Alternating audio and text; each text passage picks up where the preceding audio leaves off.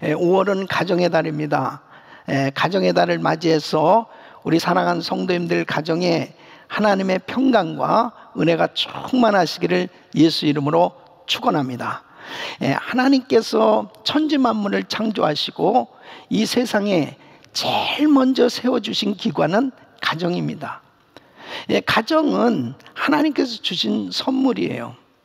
그래서 이 가정에서 행복을 느끼고 가정에서 위로받고 가정에서 하나님의 크신 사랑을 경험할 수가 있는 것이죠.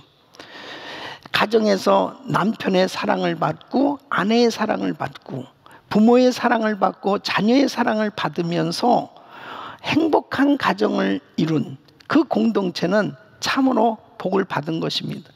이 가정은 바로 안식처요. 그리고 이 생명의 근원이 되는 이 뿌리가 되기 때문에 가정은 너무나 소중한 것입니다. 만일 가정의 위기가 온다면 인생의 위기요.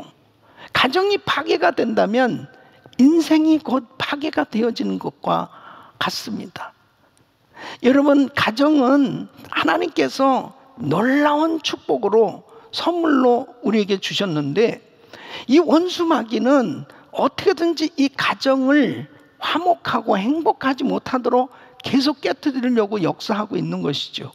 하나님께서 처음으로 세워주신 아담과 하와의 가정은 가장 행복했습니다. 아름다운 가정이었어요. 그런데 이 가정에 사탄 마귀가 역사해서 죄를 짓게 됩니다. 이 죄가 들어감으로 인해서 이 가정에 어려움이 생겨진 거예요. 부부의 갈등이 생겨졌습니다. 그래서 창세기 3장 16절에 보면은 또 여자에게 이르시되 내가 내게 잉태하는 고통을 크게 더하리니 내가 수고하고 자식을 낳을 것이며 너는 남편을 사모하고 남편은 너를 다스릴 것이니라 그랬습니다. 너는 남편을 사모하고 이 사모한다 하는 이 예, 단어를 예, 번역하면 예, 욕심에 가까운 그런 단어입니다. 그래서 세 번역에는 네가 남편을 지배하려고 해도 남편이 너를 다스릴 것이다. 그러니까 서로 다스리려고 하다 보니까 갈등이 생겨지고 다툼이 생겨지고 결국 문제가 생겨지는 것이죠. 그러니까 불행하게도 이 죄가 들어온 이 가정으로 인해서 이제 계속해서 수많은 가정들이 깨어지고 있는 것입니다. 어느 통계에 보면은 예, 소년 범죄자 80% 이상이 결손 가정의 자녀들이라고 하는 거예요. 그러니까 가정이 깨어지면 자녀들에게 큰 악영향을 끼치고 또 사회와 국가에까지도 큰 악영향을 끼치게 되는 것을 볼 수 있습니다. 가정은 너무나 귀한 공동체인데 하나님께서 허락하신 이 가정이 행복하지 않으면 안 되는 것입니다. 오늘 이 본문 말씀은 이 말라기 선지자를 통해서 무섭게 타락하고 무너지는 이스라엘 가정들에게 하나님께서 큰 부흥을 주실 것을 예언하는 말씀입니다. 그때 당시에 이스라엘 사회가 어땠냐면 여러 가지로 죄를 짓고 그 죄로 인해서 가정들이 무너지고 있었습니다.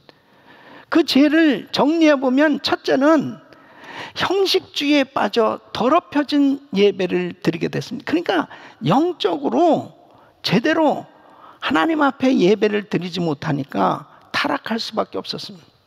두 번째는 형제와의 불화가 생겨지기 시작합니다. 세 번째는 이혼과 이방인과의 결혼이 계속해서 성행하기 시작합니다. 하나님이 기뻐하지 않는 이런 결혼들이 예, 계속 진행이 되는 거예요. 네 번째는 예, 하나님을 향한 입술의 범죄.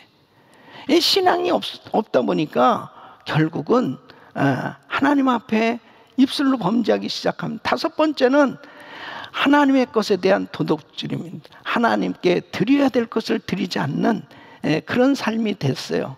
그러다 보니까 결국은 하나님께서 심판하시지 않으면 안 될 만큼 죄악이 관영한 세상이 됩니다.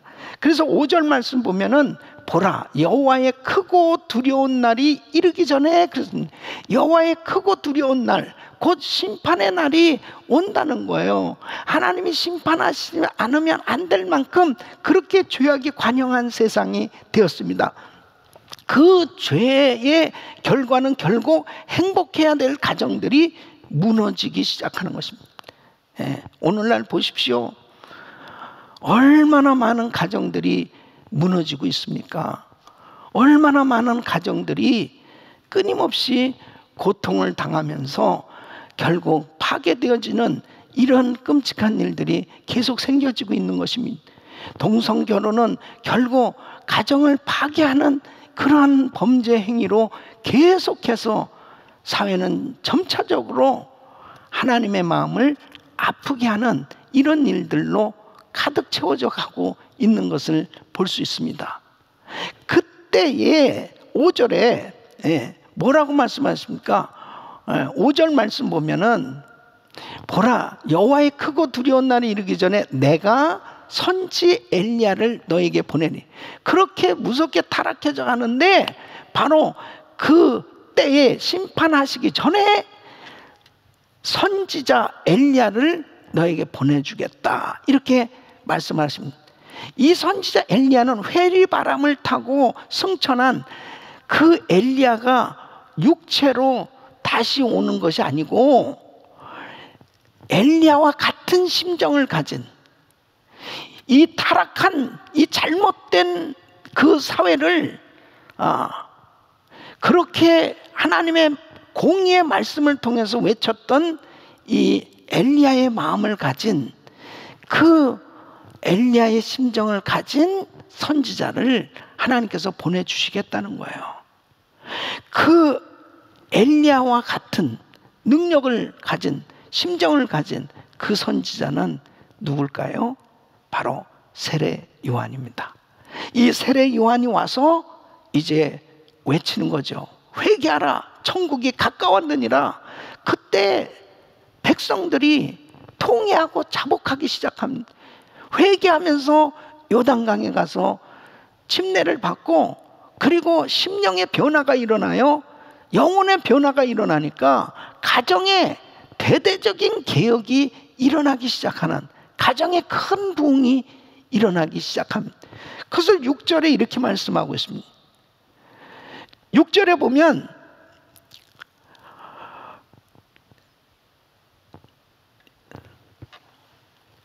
그가 아비의 마음을 자녀에게로 돌이키게 하고 자녀들의 마음을 그들의 아비에게로 돌이키게 하라. 돌이키게 하리라. 돌이키지 않냐면 두렵건대 내가 와서 저주로 그 땅을 칠까 하노라 하시는. 그러니까 바로 그 아비의 마음을 자녀에게로 돌이키게 하고 자녀들의 마음을 그들의 아비에게로 돌이키게 하겠다. 무정한 아비의 마음이 자녀들을 향해서 사랑하는 마음으로 바뀌어지고 등을 돌렸던 부모를 향해서 등을 돌렸던 자녀들의 마음이 부모를 향하는 바로 이 가정에 엄청난 부흥이 일어날 것을 말씀하고 있습니다. 여러분, 바로 오늘 이 시대는 가정에 부흥이 있어야 돼요. 가정에 부흥이 와야 바로 심령의 변화가 일어나고 영혼의 변화가 일어날 때 서로의 아름다운 관계가 이루어지고 행복해질 수 있는 거죠. 이것이 주님의 소원입니다. 이 코로나 바이러스 사태로 인해서 가장 힘든 그런 어, 장소가 어디요? 가정이죠. 가정이 가장 어려워지는 이런 상황인데 이럴 때 하나님께서 우리 성도님들 가정에 놀라운 부흥을 부어 주실 때 오히려 이런 위기 가운데 우리의 가정은 더 행복해질 수 있는 거예요. 더 화목해질 수 있고 더 하나님의 은혜 가운데 사랑을 누릴 때 하나님이 참으로 기뻐하시는 것입니다. 이 마지막 때는 무섭게 타락해져 가는 시대고 그 타락해져 가는 정점이 바로 가정이 깨어지는 것입니다. 이때 하나님께서는 부흥을 주시겠다는 거예요. 이 하나님께서 부어주시는 부흥이 말때 회개하게 되는 것입니다. 하나님 앞에 회개하고 돌이켜야 그 가정의 회복이 이루어지고 그리고 하나님이 기뻐하시는 행복한 가정이 세워질 수 있는 것이죠. 오늘 이 말씀 보면 만일 돌이키지 아니한다면 만일 회개하지 않고 그렇게 말씀을 들으면서도 회개하지 않고 돌이키지 않는다면 하나님께서 땅을 치신다라고 말씀을 땅을 치신다는 건 뭐예요? 소망이 없다는 것입니다. 사랑하는 성도 여러분, 이 코로나 바이러스 사태로 인해서 많은 가정들이 힘들어하고 있는 상황입니다. 이럴 때 우리는 하나님께로부터 이 놀라운 은혜를 체험하고 놀라운 부흥을 경험하고 우리 가정들마다 다 회복되어지는 그래서 하나님이 기뻐하시는 아름답고 행복한 가정으로 세워질 수 있기를 예수 이름으로 축원합니다. 이것이 하나님의 소원이에요. 저는 오늘 가정의 달을 맞이해서 특별히 이 코로나 바이러스 사태로 어려움 가운데 있는 이 시대에 우리 성도님들의 가정에 하나님께서 놀라운 부흥을 부어주셔서 하나님께서 참으로 기뻐하시는 아름답고 행복한 가정으로 다 세워질 수 있기를 예수 이름으로 축원합니다. 축원합니다. 오늘 이 말씀이 우리 성도님들에게 영원한 축복이 되길 바래요. 그리고 정말 무너지려고 하고 깨어진 그런 어려운 가정들이 있다면 오늘 이 말씀을 통하여 다 회복되셔야 돼. 그 하나님께서 주시는 그 은혜로 다시 한번 아름다운 가정으로 세워질 수 있기를 예수 이름으로 축원합니다. 하나님께서 부어 주시는 부흥이 임하면 어떤 역사가 일어나느냐? 첫째는 하나님은 아내의 마음을 남편에게 남편의 마음을 아내에게 돌리시는 거예요. 그러니까 아내들이 은혜를 받으면 자, 은혜를 받으면 그 마음이 하나님을 향하게 됩니다. 하나님의 말씀에 순종하는 이런 마음을 갖게 되죠. 그러니까 은혜를 받고 남편을 바라보면 남편은 아, 하나님께서 내게 주신 사람이구나 하는 것을 느끼게 돼요.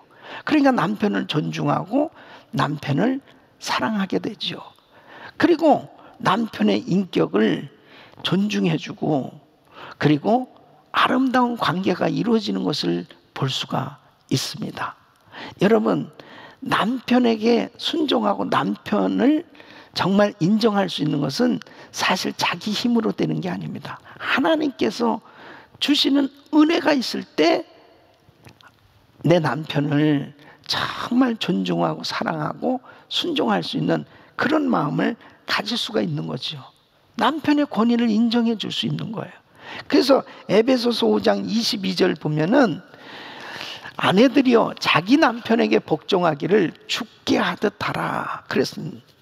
그러니까 정말 사도 바울은 아내들에게 예, 남편을 대할 때 죽게 하듯 하라 그렇게 남편의 권위를 인정해주고 그 죽게 하듯이 그렇게 남편을 존경하고 어, 그 말씀에 복종할 수 어, 있도록 하라 이렇게 말씀을 하는 겁니다.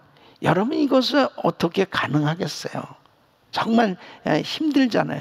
그런데 마음에 은혜가 임하면 하나님의 그 말씀으로 이러한 그 모든 일들이 가능한 것을 말씀하고 있는 거예요. 우리 힘으로는 안 되지만 하나님께서 주시는 은혜로는 가능하다는 것입니다. 예. 사람이 살다 보면 어떻게 되냐면 예, 자꾸 쓴뿌리가 만들어지죠. 아, 처음에는 다 좋은 관계 속에서 너무 어, 아름다운 관계 가운데서 결혼을 한 거잖아요. 그리고 처음 시작은 너무 좋았잖아요. 근데 살다 보니까 아, 이 쓴뿌리가 생겨져요. 그러니까 남편에 대해서 쓴뿌리를 갖게 되면 거친 태도를 보이게 되는 겁니다. 남편에 대해서 별로 그렇게 존경하고 싶지 않고 그 다음에 자기도 모르게 마음이 자꾸 불편해지고 삐뚤어지기 시작한 그러니까 서로 불편해지기 시작하는 거죠. 근데 이 쓴뿌리가 어떻게 생겨지게 되느냐? 아, 남편을 사실은 사랑하는 마음으로 도와주려고 남편의 부족한 부분이 보여지니까 사명감을 가지고 잔소리를 합니다. 아, 정말 고쳐야지. 우리 남편의 저 잘못된 부족한 부분을 고쳐줘야지. 그래서 사명감을 가지고 계속 잔소리를 해대기 시작합니다. 근데 그 잔소리로 바뀌어질 수 있으면 얼마나 좋겠어요. 예? 근데 그 잔소리 해도 잘 안 되거든. 그러니까 잔소리하는 그 부인이 또 이게 상처가 되는 거예요. 또 뿐만 아니라 남자들은 그 잔소리를 들을 때 상당히 불편한 겁니다. 자기도 좀 자존심이 있는데 자꾸 이렇게 잔소리를 하니까 그 잔소리가 결국은 이 남편에게는 상처가 되는 겁니다. 그러니까 점차적으로 지나면 처음엔 좋은 의도로 이야기를 했는데 지나놓고 나서 보니까 어, 점점 사이가 안 좋아지기 시작하는 것입니다. 그래서 그 문제를 해결해 보려고 아무리 인간적인 방법으로 해봐도 그 관계는 점점 더 힘들어지게 되는 것을 볼 수 있습니다.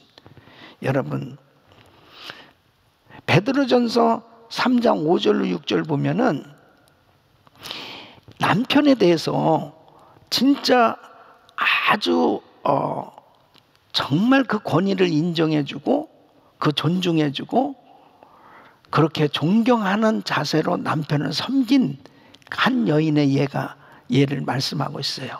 전에 하나님께 소망을 두었던 거룩한 부녀들도 이와 같이 자기 남편에게 순복함으로 자기를 단장하였나니 사라가 아브라함을 주라칭하여 복종한 것 같이 너희가 선을 행하고 아무 두려운 일에도 놀라지 아니하므로 그의 딸이 되었느니라. 그러니까 사라가 아브라함을 주라 그렇게 불렀다는 것입니다. 이거 대단한 겁니다. 아니 남편에게 어 주여 아, 이거 이게 정말 쉬운 일이겠어요? 그렇게 사라가 아브라함을 정말 그 권위를 인정하고 존경하고 섬길 수 있었던 게 뭐냐? 바로 믿음의 표현인 것입니다. 주님을 사랑하고 주님의 그 말씀을 의지하고 하나님의 은혜가 임할 때 그 말씀에 순종해서 이게 가능한 거지 인간적으로는 가능할 수 없는 거예요. 그러니까 하나님의 은혜가 임해야 가능한 거 하나님의 은혜가 임할 우리 가정에 부흥이 오면 아내들이 성령 충만 받으면 하나님의 은혜로 믿음의 표현으로 남편이 부족하지만 남편을 덮어주고 그리고 이해해주고 존중해주고 그렇게 세워줄 수 있는 거예요. 그것은 우리 힘으로 되는 게 아니고 하나님이 주신 은혜로 가능하다는 거죠. 여러분 어떤 아, 예수 잘 믿는 자매가 있어요. 이 자매의 남편은 전혀 예수도 안 믿고 교회도 안 나오고 그리고 자주 술을 마시고 너무 부인을 속썩이는 그런 남편이 있습니다. 근데 이 남편은 친구들하고 같이 술을 마시면 항상 자기 아내 자랑을 하는 거예요. 아, 우리 아내는 내가 이렇게 아무리 술 마시고 집에 들어가도 잔소리를 안 해. 우리 아내는 내가 이렇게 술 마시고 들어가서 술상을 봐오려도 또 여전히 술상을 받아주고 밥상도 맛있는 음식으로 차려주고 그렇게 나한테 한다네. 그러면서 이 친구들한테 자랑하니까 아니 이 세상 천지에 그런 부인이 어딨냐고 어? 그건 뭐 식모나 그렇게 할 수 있지 아니 어떻게 그렇게 할 수 있냐고 대부분 다 부인들이 잔소리하고 어? 서로 관계가 안 좋지 아이 그건 거짓말이라고 그러니까 아니 그건 우리 집에 와보라고 그래가지고 이 친구들하고 같이 집에 간 거예요. 가서 또 역시 술 마시고 들어갔거든. 그냥 술상을 봐오라니까 아, 정말 친구들 것까지 잘 해가서 상을 받아주고 또 맛있는 음식을 또 준비해가지고 밥상까지 차려주는 거예요. 이 친구들이 다 감동을 받는 겁니다. 아니, 어떻게 이러실 수 있느냐고 물어본 거예요. 그러니까 이 자매가 이렇게 이야기를 합니다. 원래 저희 부부는요, 예수 안 믿을 때 만났습니다. 저는 예수 안 믿었어요. 그랬는데 제가 예수 믿고 나서 보니까 아, 정말 하나님이 계시고 천국과 지옥이 있는 걸 알게 됐습니다. 저는 이제 예수 믿고 구원받았기 때문에 오늘 밤 이 세상 떠나도 천국에 가서 영원토록 너무나 좋은 그 천국에 살 수 있는 이 분명한 약속을 받았고 확신이 있어요. 그런데 우리 남편은 예수를 안 믿어요. 얼마나 고집이 센지 몰라요. 예수도 안 믿고 저렇게 매일 술 마시고 저렇게 지내고 있으니 우리 남편은 이제 지옥에 갈 거예요. 그 지옥은 엄청난 불구덩이 속에서 무시무시한 아주 그냥 고통스러워도 상상할 수 없이 고통스러운 곳인데 그것도 영원히 고통을 받는 그런 무서운 지옥에 우리 남편이 갈 걸 생각하니까 어차피 우리 남편 지옥에 갈 텐데 육체를 가지고 사는 동안이라도 좀 편안하게 살게 해주겠다. 그런 마음을 가지고 이렇게 우리 남편한테 잘하게 된 겁니다. 술이 확 깨버렸대. 어? 그래가지고 그 남편하고 친구들이 다 예수 믿게 됐다는 거예요. 여러분, 그렇습니다. 하나님의 은혜가 임해야 그렇게 나한테 힘들게 하는 남편도, 어렵게 하는 남편도 그 은혜로 섬길 수 있는 거예요. 그 은혜로 그 남편을 존중해주고 섬길 때 아름다운 관계가 만들어질 수 있는 것입니다. 하나님의 은혜로 충만한 아내들이 되시기를 예수 이름으로 축원합니다. 두 번째는 남편의 마음을 아내에게 하나님께서 역사하시는 겁니다. 역시 남편들이 은혜를 받으면요. 아내를 바라볼 때 주님의 마음으로 아내를 바라보게 되는 겁니다. 그러니까 아내가 얼마나 소중한지 하나님이 내게 주신 짝이야. 너무너무 귀한 사람을 나한테 이렇게 허락해 주셨어. 그 주님이 주신 마음이죠. 그러니까 그 아내를 사랑하지 않을 수 없게 되는 것입니다. 그러니까 남편들이 은혜를 받을 때 아내를 향해서 어떤 마음을 갖게 되냐? 베드로전서 3장 7절에 보면 남편 된 자들아 이와 같이 지식을 따라 너희 아내와 동거하고 저는 더 연약한 그릇이요 또 생명의 은혜를 유업으로 함께 받을 자로 알아 귀히 여기라. 이는 너희 기도가 막히지 아니하게 함이라. 여러분 베드로 그 당시에는 고대 사회예요. 정말 이 부인들은 어, 하나의 소유처럼 그렇게 업신여기기도 하고 존귀하게 여길 줄 모르는 그런 시대에 이런 말씀을 할 수 있는 것 귀역이라고 아주 귀하고 소중한 존재라고 그렇게 생각할 수 있는 것은 파격적이고 개혁적인 사고입니다. 이거 하나님이 주신 마음이에요. 하나님께서 은혜를 주시니까 아, 우리 아내가 너무 귀한 귀하게 여겨야 된다고 귀하게 보여지는 거예요. 예. 그 자기의 마음이 아니죠. 하나님께서 주시는 마음이니까 그렇게 아내가 귀하게 여긴. 또 뿐만 아니라 이 베드로는 영적인 사람이기 때문에 바로 신앙생활이 행복하고 그리고 예배가 하나님 앞에 연락되고 기도가 하나님 앞에 연락되려면 바로 부부 관계가 화목해야 된다는 거죠. 이는 기도가 막히지 않게 하려 함이라. 그러니까 기도가 너희 기도가 막히지 아니하게 하려 함이라. 뭐예요? 바로 서로 다투고 마음이 불편해지면 기도가 안 되는 거예요. 그러니 신앙생활이 얼마나 힘들게 되겠냐면. 그래서 바로 은혜를 받으면 남편들도 그 마음이 하나님을 향하고 아내를 향하니까 아내를 존귀 여기게 되어지고 아름다운 관계가 이루어진다는 것입니다. 여러분 에베소서 5장 25절에는 이렇게 말씀하고 있습니다. 남편들아 아내 사랑하기를 그리스도께서 교회를 사랑하시고 위하여 자신을 주심같이 하라 그러니까 사랑하라는 이 아가파테라는 이 단어는 무조건적으로 사랑하라는 거예요. 그냥 조건 없이 무조건적이고 희생적인 사랑을 의미하고 있습니다. 그러니까 남편의 사랑을 받는 아내는 행복한 거예요. 사랑을 받지 못하는 아내는 행복할 수가 없는 거예요. 그러니까 가정이 행복하려면 남편의 사랑을 받아야 되고 아내들이 남편의 사랑을 꼭 받아야 되는 그래서 이 단어를 사용한 남편들은 무조건 아내를 사랑해야 된다는 거예요. 네. 아멘 하고 계신 거죠? 네? 아멘 하고 계시죠? 네. 남편들이요, 아멘 하세요. 하나님께서 여자를 지으실 때, 어? 여자를 지으실 때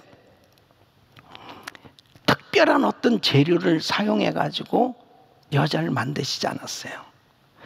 아담의 갈비뼈를 뽑아 가지고 여자를 만든 거예요. 이것은 뭘 의미합니까?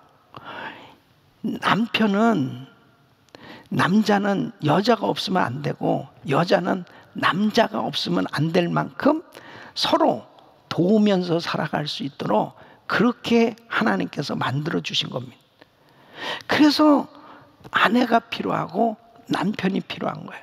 아, 제가 이런 설교를 하려면은 좀 마음에 말씀을 들으시는 분 가운데, 에, 아, 저는 목사님 남편이 없는데요. 저는 아내가 없는데요.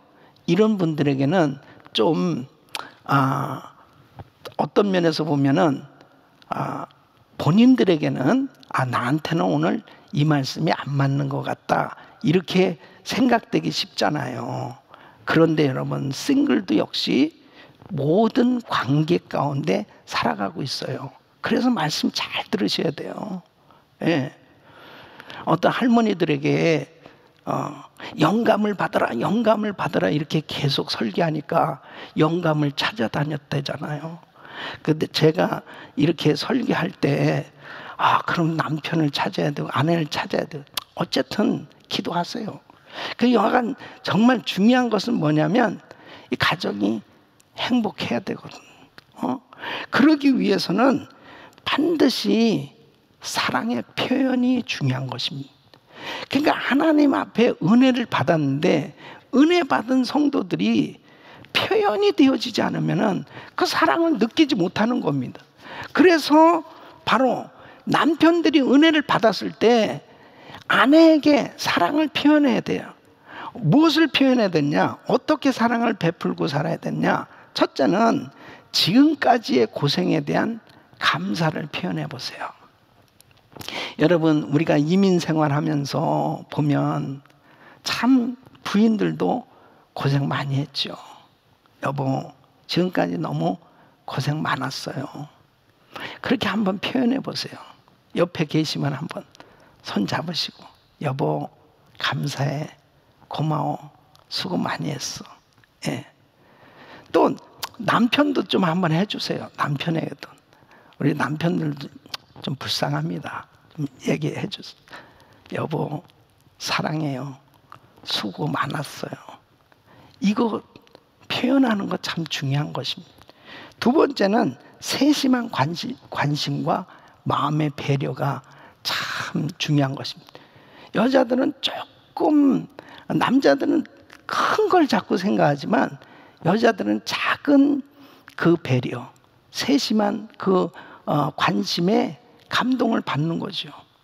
이, 예, 저도 이 코로나 바이러스 사태에 의해 우리 가정에 다 변화가 일어난 게 있다면 제가 쓰레기를 치우고 있다는 거죠. 이거는 정말 역사 일에 처음 있는 일.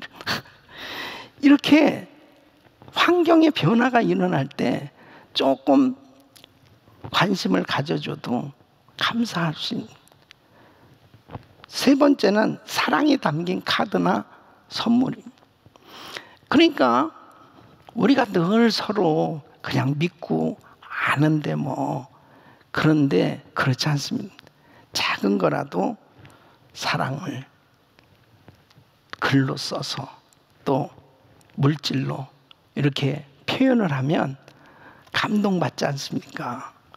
이번에 우리 사랑 나눔 이 프로젝트를 통해서 우리 성도님들이 막 서로 주고받는데요. 아, 참, 저희 집에도 김치가 오고, 뭐 음식, 아, 받는 거는 누구나 다 행복한 거예요. 부부지간에도 마찬가지. 가장 가까운 사람들, 부모 자식 지간에도 마찬가지. 또 성도님들 간에도 마찬가지. 이게 서로 나눌 수 있다는 게 그게 사랑을 느끼는 겁니다. 또 네 번째는 아내나 가족과 함께 하는 시간입니다. 요즘 코로나 바이러스 사태로 그냥 저절로 우리 가족들이 함께 할 수 있는 시간이 만들어진 것은 이거 하나님이 주신 저 특별한 선물의 그 은혜다 저는 그렇게 생각합니다. 이렇게 함께 바쁘게 지내다가 함께 이렇게 지낼 수 있게 된 것도 참 하나님께서 주신 은혜거든요. 이런 시간이 꼭 필요합니다. 다섯 번째 영적으로 아내를 격려하고 인도하는 것을 느낄 때 아내들은 또 마음에 영적 안식을 얻을 수가 있는 거예요. 또 여섯 번째는 아내를 위한 기도와 돌봄을 통해서 행복을 느낍니다. 이 육신적인 그러한 아, 돌봄뿐 아니라 영적으로도 아, 우리 남편이 나를 위해서 기도해 준다 하는 것을 느낄 때더 어, 정말 이렇게 든든한 그런 사랑을 느끼게 되는 거죠. 또 역시 바꿔서 아내들은 남편들에 대해서 세심한 관심과 배려와 그리고 기도와 보살펴주는 그런 사랑의 섬김 이런 것이 하나님의 은혜가 임하면 남편의 마음이 아내에게로 아내의 마음이 남편에게로 그렇게 자연스럽게 그 관계가 아름답게 이루어질 수 있다는 거죠. 우리 사랑하는 성도 여러분, 특별히 코로나 바이러스 사태 가운데 가정이 이렇게 부부가 늘 마음이 서로를 향해서 사랑하는 마음으로 존경하는 마음으로 존중하는 마음으로 인정하는 마음으로 격려하는 마음으로 서로 아름답게 하나가 되어질 수 있기를 예수 이름으로 축원합니다. 두 번째는 하나님은 자식의 마음이 부모에게, 부모의 마음이 자식에게 돌리시는 것입니다. 이 자식들이 은혜를 받잖아요. 그러면 그 마음이 하나님을 향한 그 마음이 이제 또 부모를 향해서 감사하는 마음으로 바뀌어지는 걸 볼 수 있습니다. 그래서 하나님 앞에 감사하는 것처럼 부모님에게도 감사합니다. 아빠, 감사해요. 엄마 감사해요. 저를 이렇게 낳아주시고 길러주시고 그리고 늘 지켜주시고 기도해 주셔서 감사해요. 이렇게 자녀의 그 마음이 부모를 향해서 감사하는 마음으로 열려지는 것은 그건 자기가 가질 수 있는 게 아니에요. 하나님의 은혜가 임할 때 이런 역사가 일어나는 거죠. 이 자식은 하나님이 주신 기업입니다. 그래서 부모에게 또한 은혜가 임해야 바로 하나님의 은혜로 자녀들을 아름답게 잘 양육할 수 있습니다. 주님의 눈으로 자녀들을 바라보면서 하나님이 내게 맡겨주신 기업인데 내가 자녀들을 잘 양육해야 되는데 하나는 그 마음으로 자녀들을 아름답게 그렇게 정말 섬기는 그런 관계가 이루어지니까 부모의 그 사랑을 느끼면서 부모의 그 기도를 받으면서 자란 자녀가 아름답게 잘 성장할 수밖에 없는 거죠. 그래서 자녀가 잘 되는 건 부모에게 정말 달려 있다고 볼 수 있습니다. 어떤 가정 사역을 하는 분인데 음, 자기에게 딸들이 있는데 아이 둘째 딸이 그렇게 착하고 얼마나 말도 잘 듣고 정말 속을 썩이지 않게 잘 성장했는데 아이 사춘기 접어들면서 아이가 삐딱하기 시작한 말도 안 듣고 그 다음에 그냥 혼자 있는 시간을 갖고 부모에게 말도 너무너무 충격을 받 얘가 너무 착한 애인데 왜 이렇게 된 너무너무 막 안타까워서 이 딸을 위해서 막 기도하기 시작했다.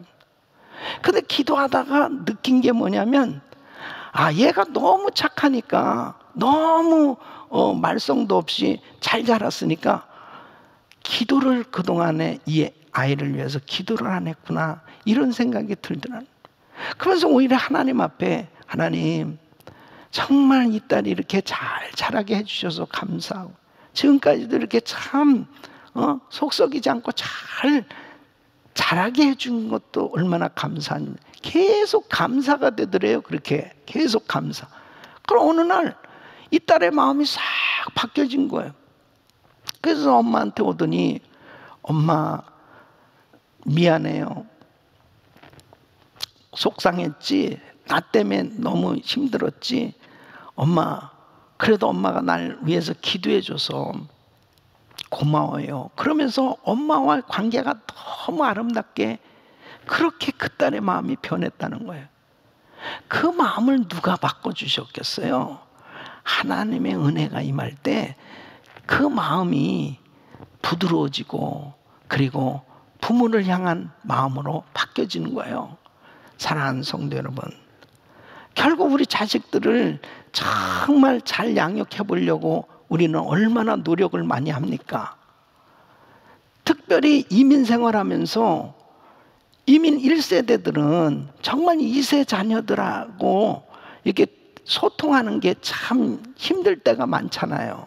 어, 사실 어, 영어를 잘 못하니까 정말 어, 자녀들과 소통하는 것이 힘들다 보면 결국은 자녀를 위한 사랑, 자녀와 소통하려고 애쓰다가 결국은 훈계와 질책과 명령조로 아이들한테 그렇게 에, 커뮤니케이션 하려고 하다 보니까 상처만 서로 받는 부모는 부모대로 자녀는 자녀대로 그래서 막 엄청난 그 갈등 속에서 힘들어하는 부모들 아이들이 참 많이 있습니다.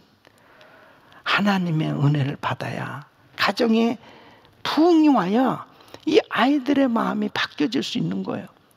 그래서 우리 부모님들이 참 Tres Dias나 Grace Freedom이나 이렇게 교회 오셔서 참 은혜를 받고 난 다음에 보면 달라지는 게 뭐냐면요. 본인들이 은혜를 받았는데 에? 예? 배우자들이 변화를 받고요. 자녀들이 변화를 되는 거예요. 그게 뭐냐면 관계가 아름답게 이루어졌기 때문에 내가 변화되니까 배우자를 향해서 마음이 열려지고 자녀를 향해서 마음이 열려지는 겁니다. 그래 아빠가 너무 아빠 마음대로 이렇게 생각했구나.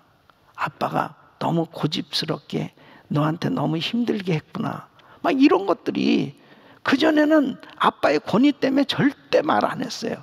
그런데 하나님의 은혜가 임하니까 자녀를 끌어안아주고 그리고 용서를 고백하고 사랑을 고백할 수 있는 그런 부드러운 아빠로 바뀌어지는 건 그거 자기가 할 수 있는 게 아니에요. 하나님의 은혜가 임하니까 그렇게 자녀에게 마음이 변해지고 또 자녀는 또 은혜를 받으면 그렇게 부모에 대해서 그냥 등을 돌렸던 아이들이 우리 아빠가 우리 엄마가 얼마나 귀한 분들인지를 깨닫게 되어지니까 달라지잖아요.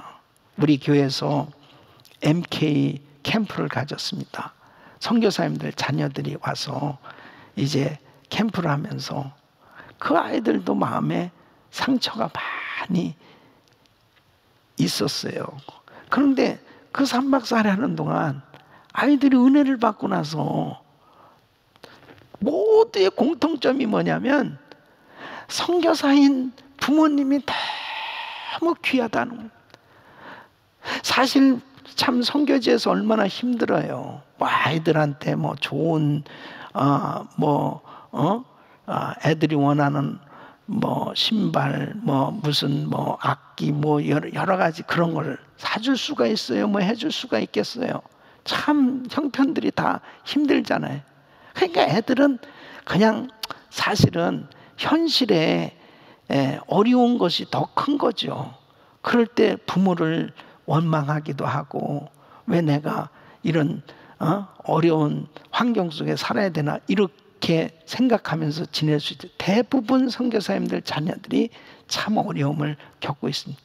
근데 은혜를 받고 나니까요. 와, 우리 엄마 아빠 최고라는 거야. 우리 엄마 최고는 우리 아빠 최고. 어. 그 하나님의 은혜를 받고 나니까 그들의 마음이 하나님을 향할 뿐 아니라 부모를 향해서 그렇게 바뀌어지는 것을 볼 수 있습니다. 특별히 이 코로나 바이러스 사태로 인해서 우리가 가족들끼리 같이 지내는 시간이 많아졌어요. 이때 가정 예배가 회복돼야 됩니다. 또 Bible time 가지고 같이 말씀도 좀 나누고 그리고 서로 정말 그 마음이 우리 자녀들에게 자녀들의 부모님에게 이렇게 아름다운 행복한 관계를 이룰 수 있는 이런 좋은 기회가 바로 하나님께서 우리에게 허락하신 그런 축복의 시간이라고 저는 생각해요. 그 길은 우리 가정에 부흥이 임하는 거예요. 우리 모든 부모님이 은혜 받는 거예요.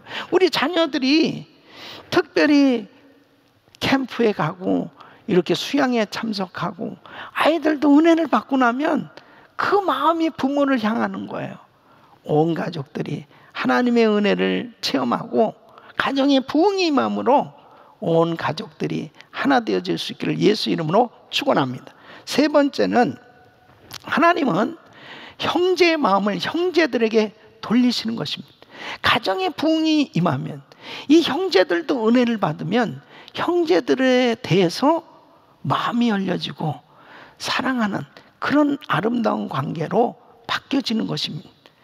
여러분 창세기 32장에 보면은 예, 이 야곱과 에서 이 둘이 쌍둥이 예, 형제잖아요. 그런데 20년 동안 이 야곱에게 에서는 마음을 열지 않았습니다. 오히려 살기가 등등해서 에서가는 군사 400명을 데리고 야곱을 치려고 온다는 거예요. 그러니까 20년 동안 관계가 더 악화된 거예요. 그런 속에서 야곱은 하나님 앞에 기도합니다. 야복 강가에서 얼마나 간절히 기도를 했으면 한도 뼈가 부러지기까지 그렇게 체력을 소모하는 기도 가운데 야곱이 이스라엘로 바뀌어집니다. 야곱이 엄청난 은혜를 받았어요. 환경은 달라진 게 하나도 없었어요. 달라진 거는 야곱이 달라졌어요. 은혜 충만하게 받았어요. 그러고 난 다음에 결국 형을 만나게 됩니다. 창세기 33장 4절에 보면 이제 어떤 역사가 일어났냐? 그 살기 등등했던 에서가 달려와서 야곱을 맞아서 안고 목을 어긋 맡기고 그와 입 맞추고 피차온이라 그런. 아, 야곱이 은혜를 받았는데 에서의 마음이 눈 녹듯이 녹아졌어요. 그래서 그렇게 서로 아름답게 화해가 됐는데 10절에 보면 야곱이 이렇게 말을 합니다. 야곱이 가로되 그렇지 아니니 형님께 은혜를 입어서 얻어 싸우면 청건대 내 손에서 이 예물을 받아서 내가 형님의 얼굴을 배운즉 하나님의 얼굴을 본 것 같사오니 형님도 나를 기뻐하십니다. 아니 에서의 얼굴이 무슨 하나님 얼굴 같겠어요? 살기가 등등해서 왔는데 무슨 하나님 얼굴 같겠어요? 근데 야곱에게 은혜가 충만한 그런 역사가 일어나니까 바로 형의 얼굴을 보니까 하나님 얼굴 보는 것 같습니다. 그렇게 좋아 보인단 말이에요. 은혜 받아야 돼요. 하나님의 은혜가 임하면 그냥 마음이 눈 녹듯이 녹아지는 거예요. 그리고 아름다운 관계가 이루어지는 걸 볼 수 있습니다. 사랑하는 성도 여러분. 우리는 육신의 가족의 형제들과도 이런 아름다운 관계를 이루어야 되고 그리고 영적으로 우리 주 안에서 만난 우리 성도들 간의 형제들과도 이런 아름다운 관계가 이루어질 수 있기를 예수 이름으로 축원합니다. 시편 133편 1절에 보면 형제가 연합하여 동거하며 어찌 그리 선하고 아름다운 하나님은 이렇게 아름다운 관계가 이루어진 걸 너무 거예요. 형제의 화목함이 없으면은 바로 주를 보지 못하리라 이렇게 말씀하고 있습니다. 히브리서 12장 14절에 보면 모든 사람으로 더불어 화평함과 거룩함을 쫓으라. 이것이 없이는 아무도 주를 보지 못하리라. 여러분, 주를 보지 못한다는 것은요, 얼마나 엄청난 일이에요.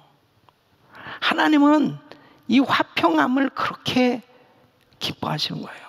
하나님의 은혜가 임하면 그냥 눈 녹듯이 마음이 녹아져서 바로 원수까지라도 용서를 하니까 하나님이 나의 죄도 용서해 주시고 영적으로 열려지니까 그 하나님의 은혜가 막 쏟아지기 시작하는 거죠. 여러분 다 푸셔야 돼. 이제 형제들과의 관계, 안 좋았던 관계 다 푸셔야 돼요. 우리 교회 내에서도 마찬가지입니다. 서로 좀 불편했던 그런 사이들이 있었다면은 이번에 또 코로나 바이러스 사태로 인해 서로 또 이렇게 만나지도 못하고 이렇게 지내는 가운데 있잖아요. 다시 한번 이제는 내 생에 걸릴 사람이 없다. 다 모든 것을 풀 수 있다는 거 이것이 큰 축복이에요. 마가복음 9장 50절에 이렇게 말씀하고 있습니다. 소금은 좋은 것이로되 만일 소금이 그 맛을 잃으면 무엇으로 이를 짜게 하리. 너희 속에 소금을 두고 서로 화목하라 하신. 여러분 소금은 녹아져야 짠맛을 낼 수 있죠. 바로 화목하려면 소금을 두고 화목하라 그랬어요. 화목하려면 한쪽이 녹아져야 돼요. 녹아지지 않으면 서로 평행선을 그는 겁니다. 서로 화목할 수가 없어요. 녹아져야 서로 녹아져야 한쪽이라도 녹아져야 서로 화목해질 수 있거든요. 어느 날 한 도시에 대형 트럭이 지하로로 이렇게 들어가다가 걸려 있는 거예요. 예. 그 이 천장 높이하고 이 트럭하고 그냥 꽉 차서 앞으로 가지도 못하고 뒤로 가지도 못하는 이런 사태가 벌어진 거예요. 그러니까 폴리스가 오고 사람들이 몰려왔습니다. 근데 연구하고 궁리하는 거죠. 이걸 어떻게 해야 될까? 근데 어린아이가 그 드라이버한테 이렇게 얘기합니다. 아저씨, 이거 해결할 방법이 있어요. 그러니까 이 드라이버가 야야 애들은 여기 위험하니까 가라. 어? 그러니까 이 아이가 어 진짜 나 아는데 이거 해결할 수 있는데 어 그래 얘기해봐 어떻게 하면 돼? 그러니까 아저씨 이 타이어 공기를 빼세요. 공기를 빼면 됩니다. 그래서 공기를 뺐더니 어 진짜 싹 지나가는 거예요. 여러분 타이어의 바람 그 바람이 뭘까요? 바로 우리 인생의 교만 아닐까요? 바람이 꽉 차 있으면, 교만으로 꽉 차 있으면, 앞으로 가지도 못하고, 뒤로 가지도 못하고, 관계 가운데 늘 불편하게 사는 거예요.